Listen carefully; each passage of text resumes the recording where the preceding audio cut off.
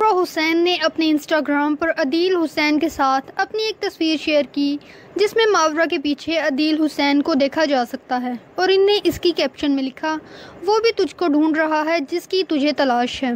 इस तस्वीर ने और इस कैप्शन ने आवाम को ये बात सोचने पर मजबूर कर दिया कि क्या वाकई मावरा हुसैन और अदील हुसैन फ्यूचर कपल होंगे।